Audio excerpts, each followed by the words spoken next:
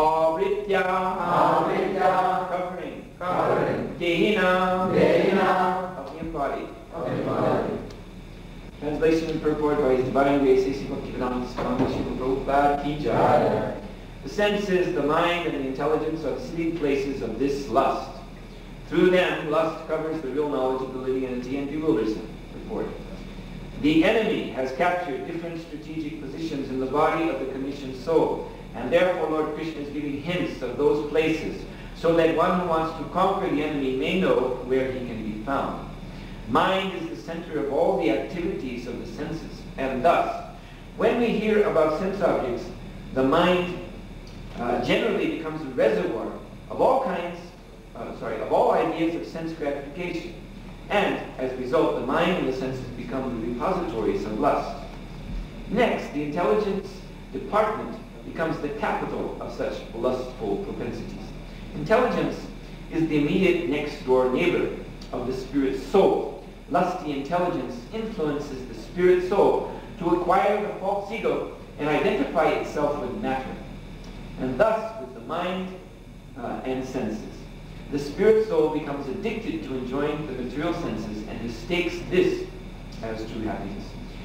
This identification of the spirit soul is very nicely explained in the Srimad Bhagavatam 10, 84, 13. Yasyatma buddhi kunate shri dhatu ke svadi kalatratishu bhauma ijadi.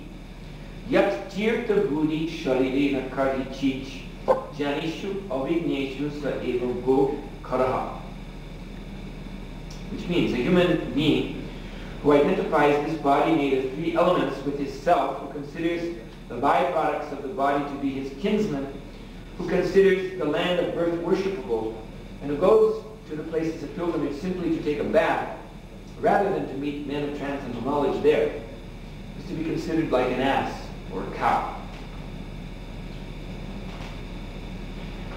So,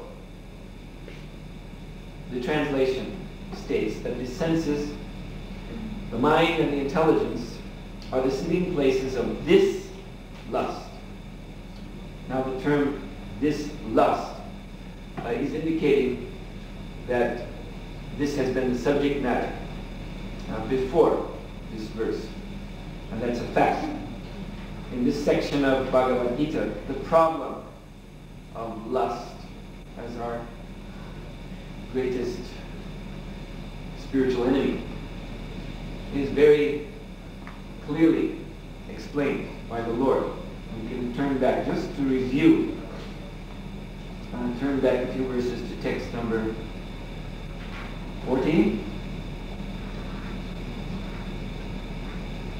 and 41. Is that it? Not just a little bit forward. Yes, 37. Here in verse 37, where Krishna says, the Supreme Personality of Godhead said, It is lust, only Arjuna, which is born of contact with the material mode of passion and later transformed into wrath, and which is the all-devouring sinful enemy of this world. Hmm. Vidyanam iham vairanam. Vairanam means the greatest enemy. So this is the greatest enemy of the conditioned soul. It is the problem. There is no other problem. This is it that has to be solved in this human form of life. So from this verse we just read, text 37, we learned that lust is a product of passion, the Raja Guna. And it is very sinful. This passionate mode inspires one because it is the mode of intense desire. So therefore one becomes surcharged with energy to engage in sinful activities. Sinful activities means activities which are not appropriate for this human form of life, which cause the soul to degrade in the next birth below this human form. So therefore, because it is so passionate and sinful, it is dangerous. Uh, very, very dangerous. As we see uh, in the history of uh, a great Vaishnava saint, Bilvamangala Thakur. So the story of his life is very exemplary in many ways. And in the early part of the story, we see the example of the danger of falling victim to lusty desire.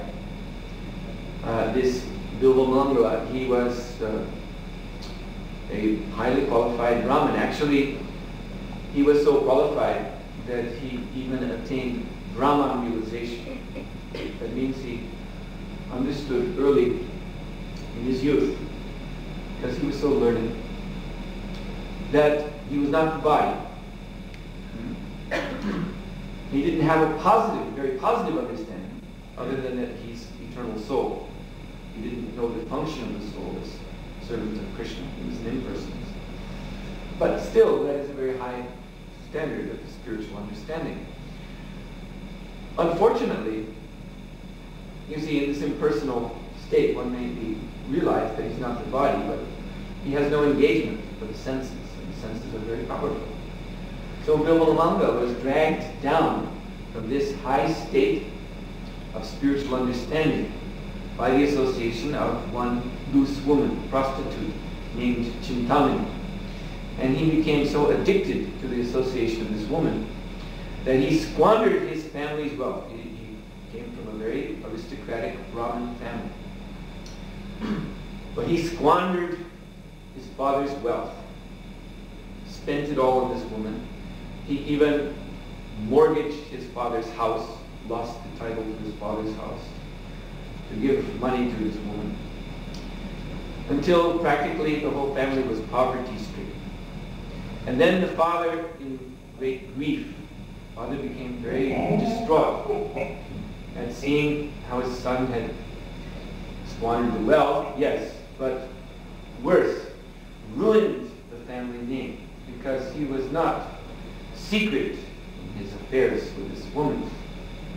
The whole town knew Bilvamangala was up to. And everyone was talking, and it was a big, big scandal. But Bilvamangala didn't care.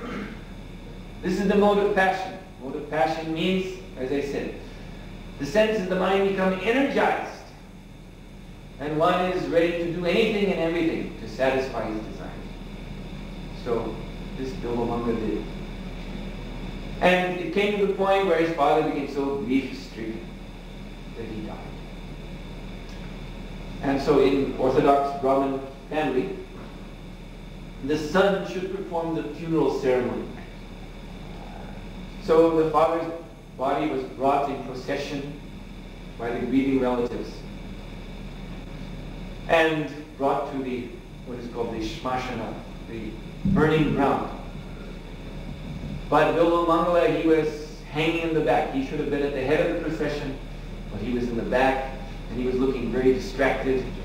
He was looking around at the, uh, his relatives and seeing if they were watching him. And when he saw that they weren't watching him very closely, he would start to move away, and then someone would say, where are you going? And then he would come back. so everyone started watching him more. What is he up to? Probably wants to go see Chintamani. How is this possible? His father just died. It's the funeral. So his aunt was berating him. You're such a rascal. This is your religious duty to perform this final ceremony for your father, that his soul will be promoted, at least to a higher next birth, if not back to Vaikuntha. This is your responsibility. And what are you doing? You're thinking of sex with this woman. And Bilvamangala, because it was a fact, he was thinking of the pleasures of the body. So he was so disturbed to be in this horrible place, this burning ground.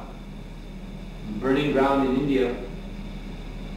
Uh, one can see, you know, half-burned bodies and piles of ashes where bodies were. It's a very, uh, but actually this is, uh, Vedic culture. Instead of putting the dead body in a nice box, decorating it with all kinds of makeup, taking the fluids out so that it won't swell up and stink, and dressing it up in a nice smoking jacket, and then decorating with flowers and putting in a nice box, and closing the door of the box and putting it in the ground. In the Vedic culture, they show you very clearly what the body is all about. As the body is being burned, at one point the head must be crushed with a sharp blow of a big stick to make sure that the soul, the soul might be hiding in the skull. So they smash the skull and the brains come spilling out all over the place. this the relatives have to watch. So everyone gets a lesson. So Bill Bilbo he was he was very unwilling. He was very uh, felt very uncomfortable in that situation.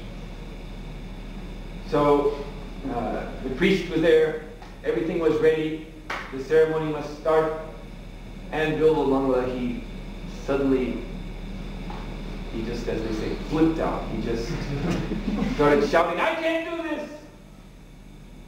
No! And his relatives were trying to reason with, but this is your duty. It will be a horrible sin. You've already done so many sins. How can you do this sin? In the Kula Dharma, in the religion of the family, there is no greater sin than this. Your father is waiting for you to send his soul off. And you want to run off and have illicit sex. And that's what he did. He just ran off. So this is the example. How this passionate, lusty desire is so overwhelming that even in the uh, association of friends and relatives who are giving one good counsel, don't do this, one still does it. And of course the story goes on that uh, as he was running off, a storm broke, and so when he got uh, to, there was one river that he had to cross.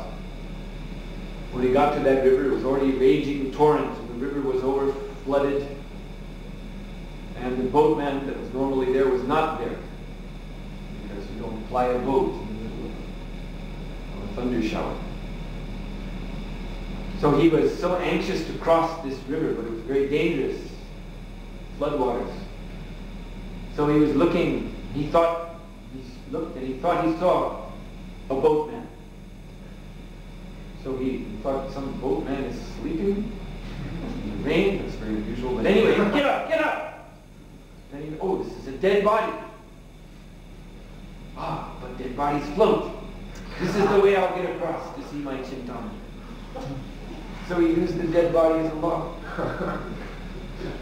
and swam across.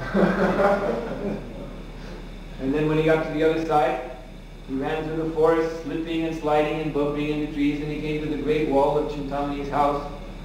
And because the storm was so ferocious, thunder and lightning and rain uh, pouring down constantly. So although he was banging on the front gate and shouting, Chintamani, my beloved, she couldn't hear. So he was going around looking for some way to climb the wall. And he saw what he thought was a vine. But actually it was a big cobra snake which had uh, sort of squirmed up the wall because there was a hole in the wall. So it wanted to escape from the rain by going into the hole. So it had its head stuck in the hole.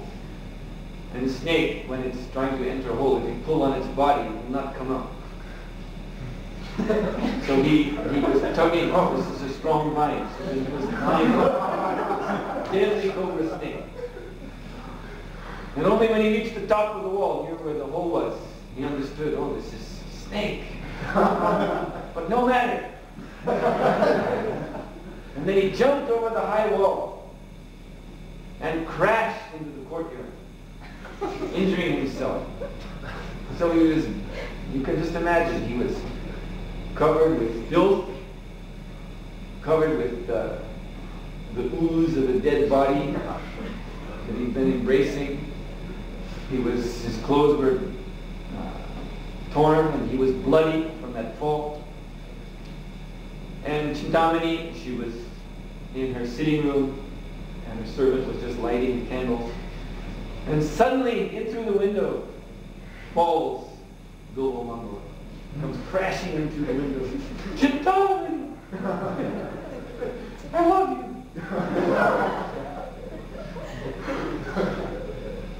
and he said, who's there? Because it was dark. who's there? he said, it's your, it's your one and only. She said, Sudhir? Is that you?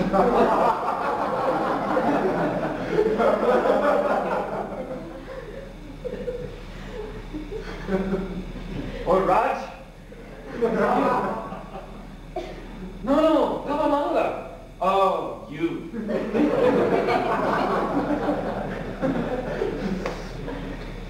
you don't even have any money.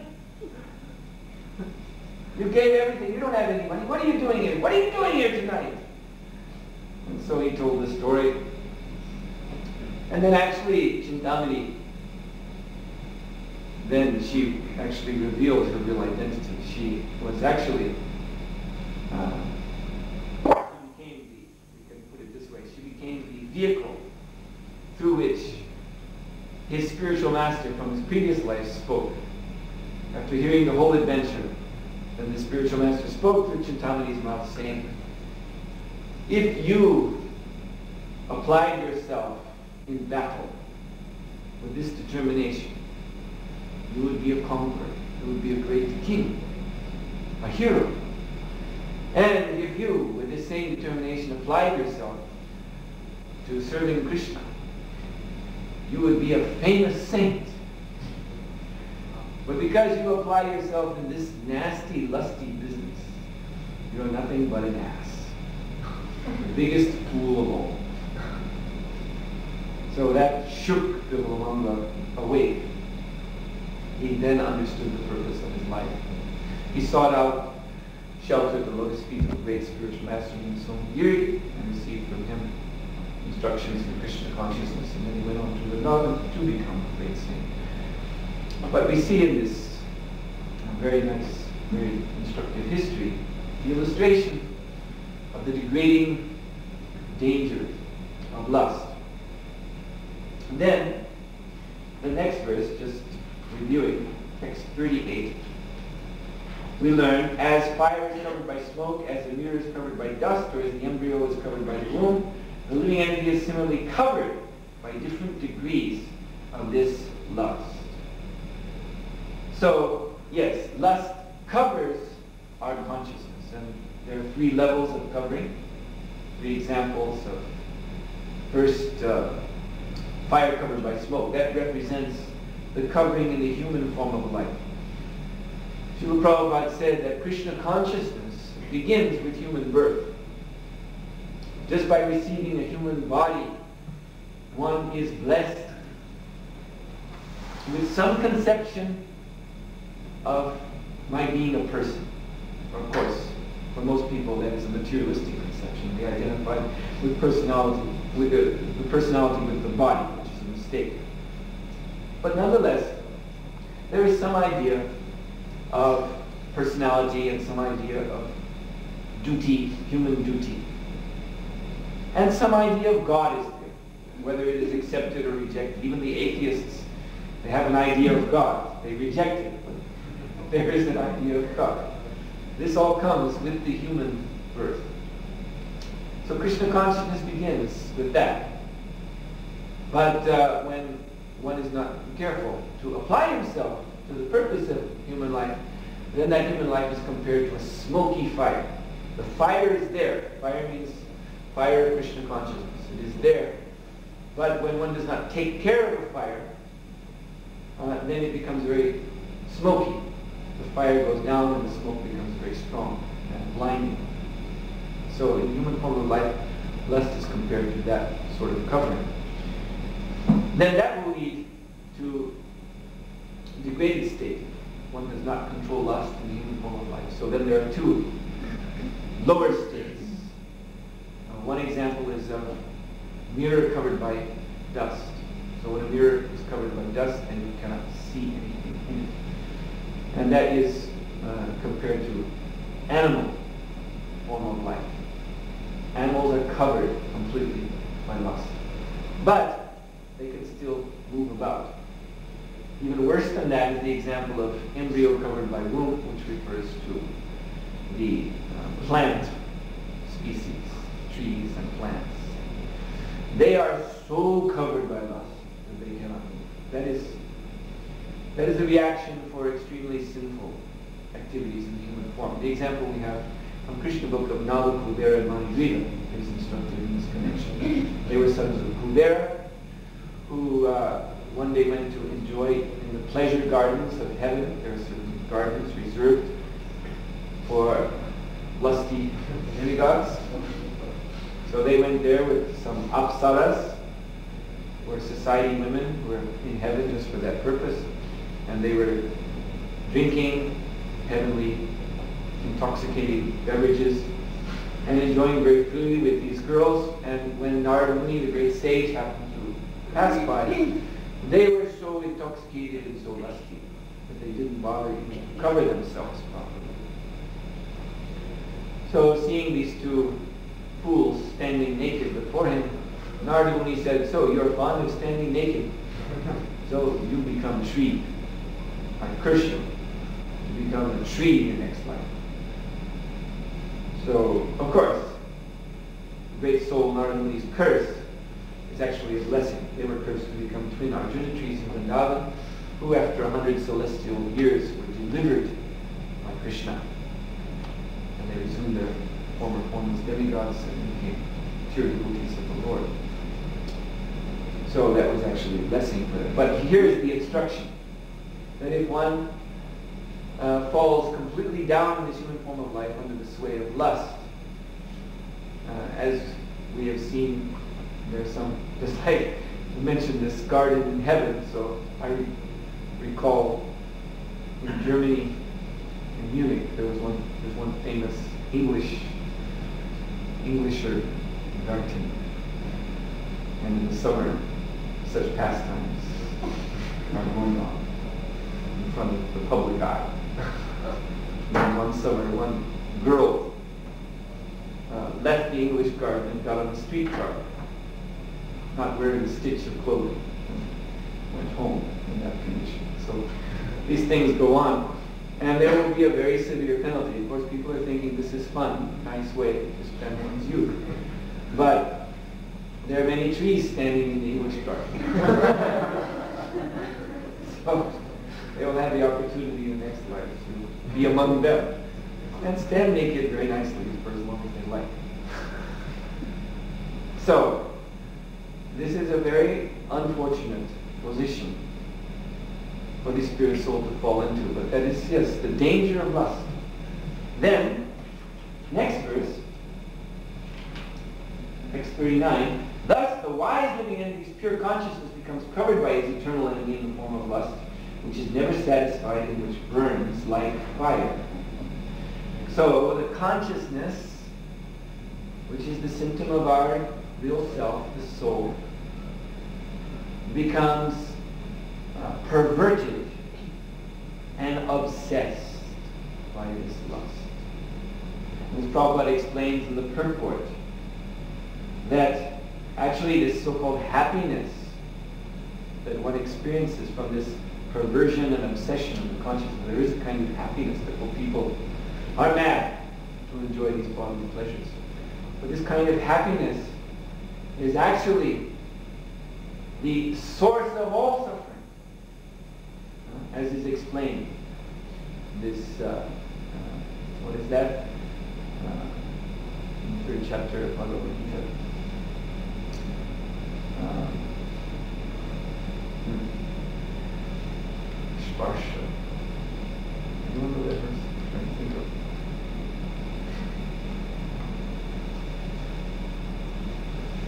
About contact of the senses with the sense objects.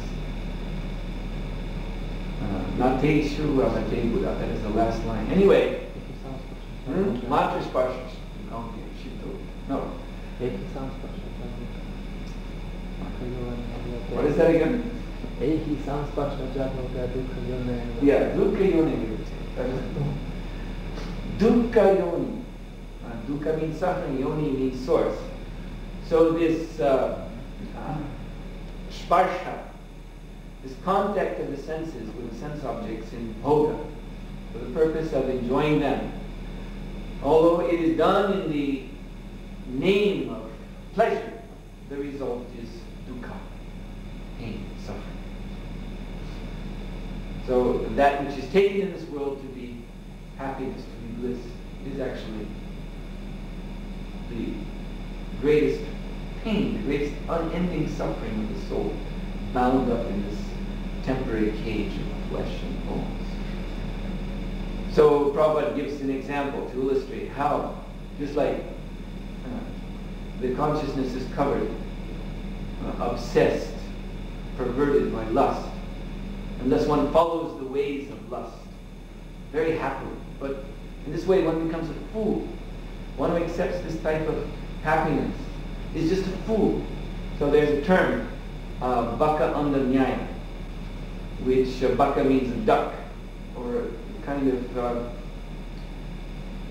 actually not exactly a duck, it's one of these storks or cranes. Small version they have in India, long beak and long neck and high legs. And they're fond of eating fish. So sometimes it is seen this kind of bird is standing in a field, a pasture, where there are cows and bulls. So one wonders, why is this kind of bird, which belongs in the marshy land, uh, where there are fish, why is he out there? And then one sees this kind of bird, baka, he's following behind the bull. The bull is walking, and this bird is walking behind. Sometimes the bird is looking up on the backside of the bull. And He's walking behind. The bull stops, the bird stops and looks up. so the bull has these great testicles hanging down from the back. The duck, this bird, thinks it's a fish. this is called in India baka andanyaya. The baka is so foolish, he thinks there's a fish, and the fish will drop. All I have to do is walk behind. so all day, they walk behind waiting for the fish.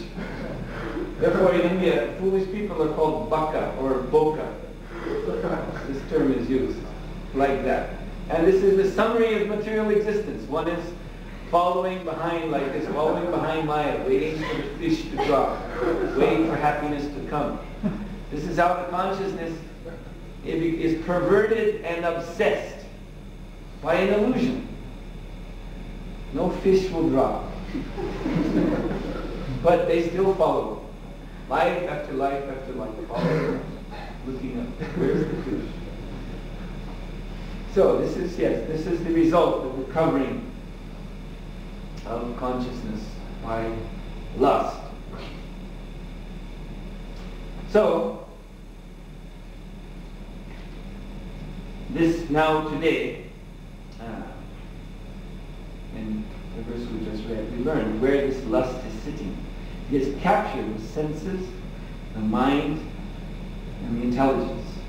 So senses that we can experience very um, bluntly, very directly, how the senses are drawn to their sense objects. Just there's a natural attraction, like between magnet and iron. The eyes, when the eyes see something nice, then the eyes become fixed. Suddenly, it's not your intention, but suddenly the eyes are jerking your head this way. Something nice and the ears hear something nice, and they become focused on that. And so each one of the senses, they have their objects which they consider to be pleasurable, and there's a natural attraction.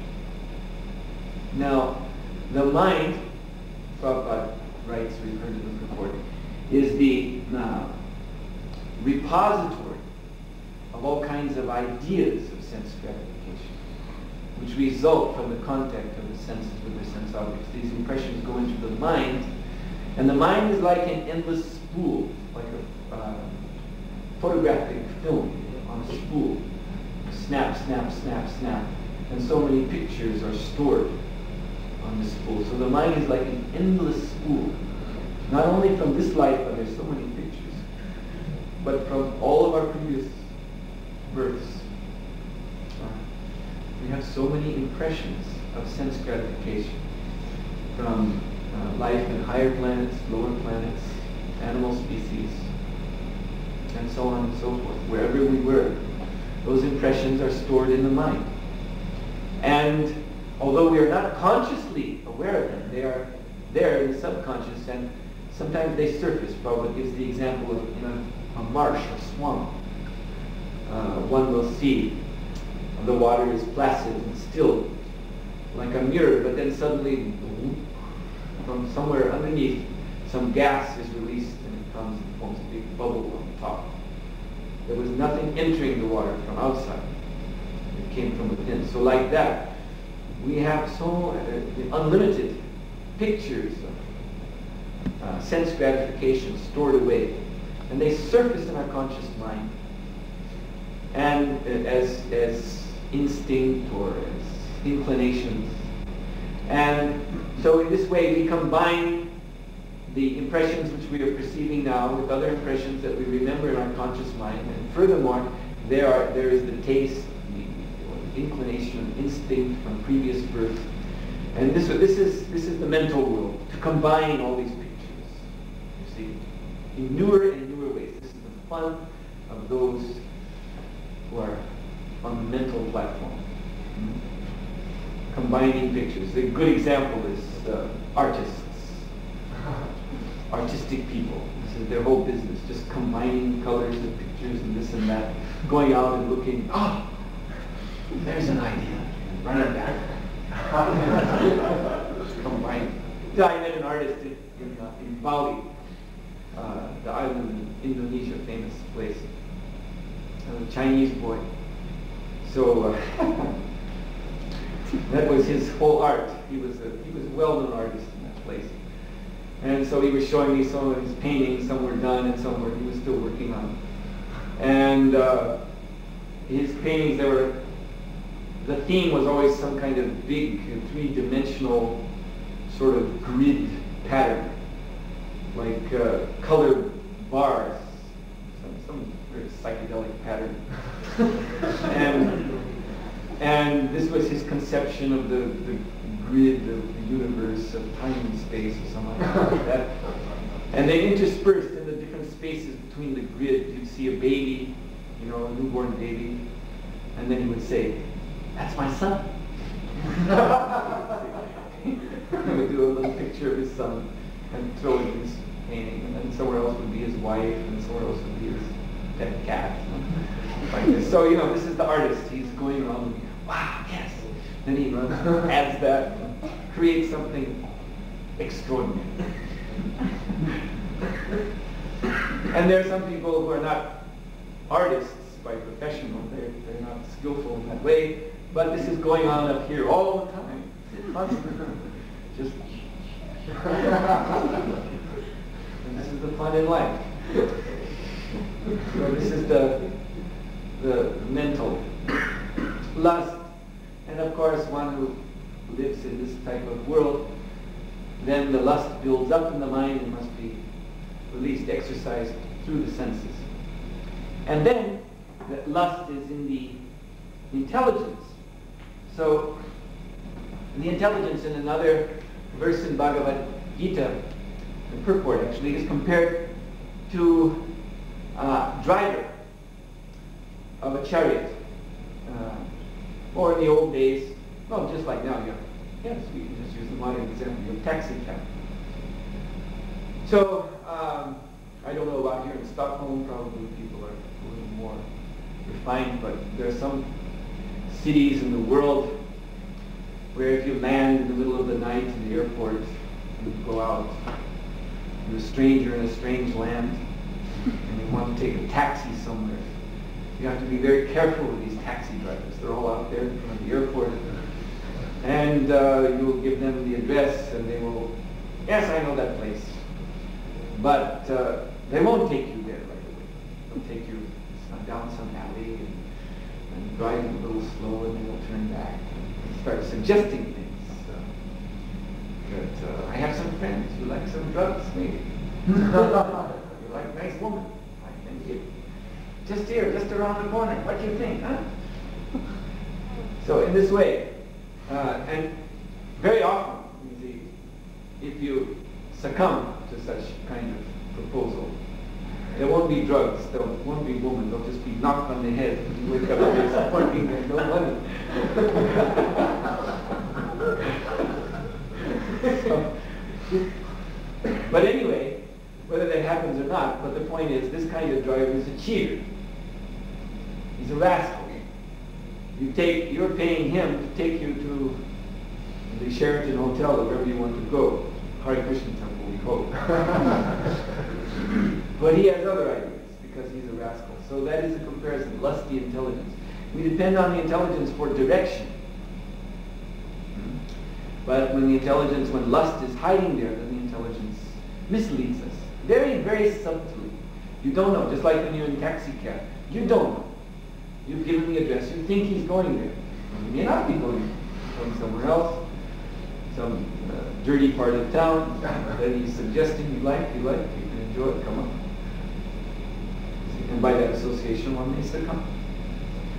So this is, uh, as Srila Prabhupada explains, in order to combat and defeat this eternal enemy of lust, one must know where he is hiding. In the senses, in the mind, and the intelligence. Then, in the next verse we want to read tonight, text 41, we will hear how one goes about dealing with this lust in these places. Tasmat tvam indriyanyado nyamya bharatarshabha papmana pradihikena jnana vijnana nashana. Therefore, O Arjuna, best of the Bharatas, in the very beginning, curb this great symbol of sin, lust, by regulating the senses, and slay this destroyer of knowledge and self-realization. Purport, the Lord advised Arjuna to regulate the senses from the very beginning so that he could curb the greatest sinful enemy, lust, which destroys the urge for self-realization and specific knowledge of the self. Jnana refers to knowledge of the self as distinguished from non-self, or in other words, knowledge that the spirit soul is not the body. Vijnana refers to a specific knowledge of the spirit soul's constitutional position and his relationship to the supreme soul. It is explained thus in the Srimad Bhagavatam 2931, Jnana sarhasyam goritam maya. The knowledge of the self and the supreme self is very confidential and mysterious, but such knowledge and specific realization can be understood if explained with their various aspects by the Lord himself. Bhagavad Gita gives us that general and specific knowledge of the self. The living entities are parts and parcels of the Lord, and therefore they are simply meant to serve the Lord. This consciousness is called Krishna consciousness. So, from the very beginning of life, one has to learn this Krishna consciousness, and thereby one must become fully Krishna conscious and act accordingly. Lust is only the perverted reflection of the love of God, which is natural for every living entity. But if one is educated in Krishna consciousness from the very beginning, that natural love of God cannot deteriorate into lust. When love of God deteriorates into lust, it is very difficult to return to the normal condition. Nonetheless, Krishna consciousness is so powerful that even a late beginner can become a lover of God by following the regulative principles of devotional service. So, from any stage of life or from the time of understanding its urgency, one can begin regulating the senses in Krishna consciousness, devotional service of the Lord, and turn the lust into love of God at the highest perfectional stage of human life. So, Tasmat Indriyan Yadav Yamya uh, Therefore, you, Indriyani, the senses, Yamya, by regulating Adav, Adav means in the beginning. So what is this beginning? This is actually the test of sincerity. That beginning has been explained uh, earlier in the Gita. Samvasteshu. So, uh, lust begins with Dhyayato. Dhyayato is a form of the word dhyana. Dhyana means meditate, meditation.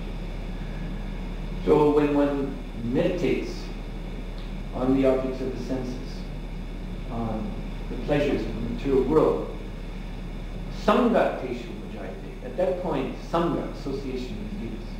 So this, this is the Adal, this is Adi, beginning. Beginning of one's entanglement in material life. So Lord Krishna says, he is giving everyone a very clear, very easy to understand key to liberate himself. He says, Tasmat At that stage, the stage when the contemplation of the sense objects begins, one must regulate these senses. And then, then one can slay destroyer of knowledge and self-realization. Now what does that mean to the senses specifically? You know this Bhagavad Gita, uh, this is Lord Krishna's instructions to Uddhava, uh, sorry, to Arjuna. Hmm. And there's another Gita, the Uddhava Gita, just slipped out, um, which is Lord Krishna's instructions to Uddhava in the 11th canto of Srimad Bhagavatam. So these two Gitas are very complementary. And you can find in Bhagavad Gita, uh, there are verses which are related. In the Uddhava Gita, there's a definite cross-reference. And because Uddhava Gita is more expanded, it is almost the whole canto of Srimad Bhagavatam. So there are many themes which are touched on in Bhagavad Gita, which in the Uddhava Gita are expanded upon. Where in Bhagavad Gita maybe one, two verses apply to one subject, in Uddhava Gita maybe five or ten verses. So there is more knowledge. It fills out our understanding very nicely of Bhagavad Gita to read it together with the Gita. So, uh, Lord Krishna speaks also to Uddhava of how one should regulate the senses in the beginning. And he gives three advices. And the uh, first advice is uh, the word he uses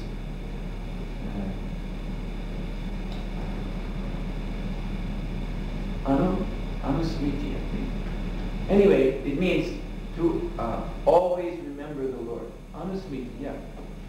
Anusmriti means fixed remembrance. Smriti means remembrance. Anu means fixed or concentrated.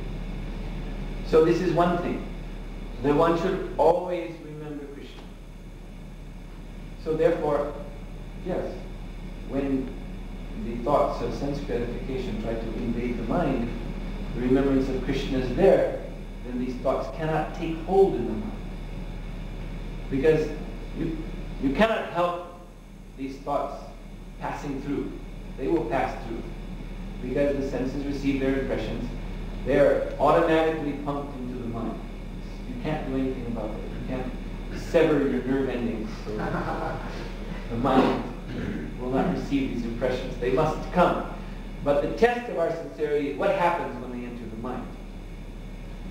So if one immediately lets them go, this is this is nonsense. This has nothing to do with Krishna. Then one is not content. So this is accomplished by always remembering Krishna. Another thing, another third, or second, sorry, second point that Krishna recommends to Uddhava is, and the word is specifically there, Nama Sankirtan. One should always engage in Sankirtan, chanting the holy name of the Lord in the company of devotees. And then the third thing is to, uh, he says, Yogeshwara Vidhi. One should follow the path laid down by the great masters of yoga, that means bhakti yoga, the great devotees of the Lord, have laid down a path of yama and niyam, of do's and don'ts. That term, niyama, varatarsha, niyam, niyam yam. So that means accepting a regulated lifestyle.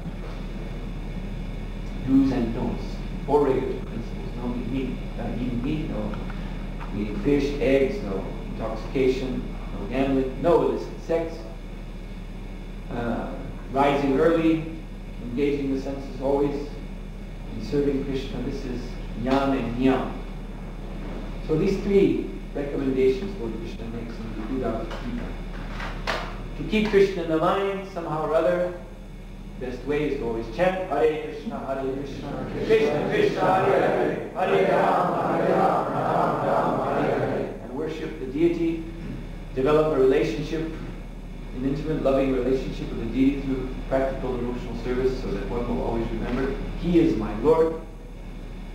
When the deity appears in the heart, then there is no question anymore of this attraction to materialistic sense objects.